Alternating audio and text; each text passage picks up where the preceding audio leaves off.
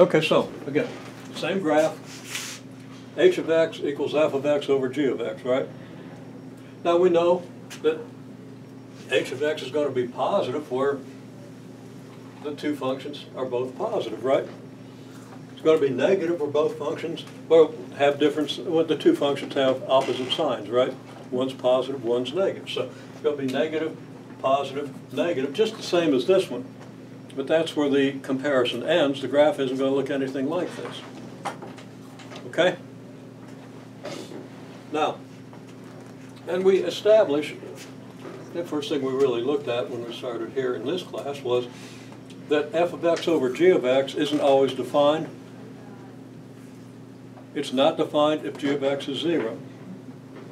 And g of x can be zero, like right here. So your h of x function is undefined at this point.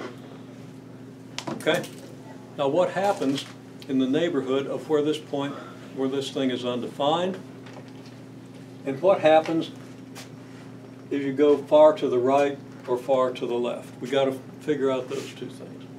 If we can answer those two questions, we get a pretty good picture of this graph.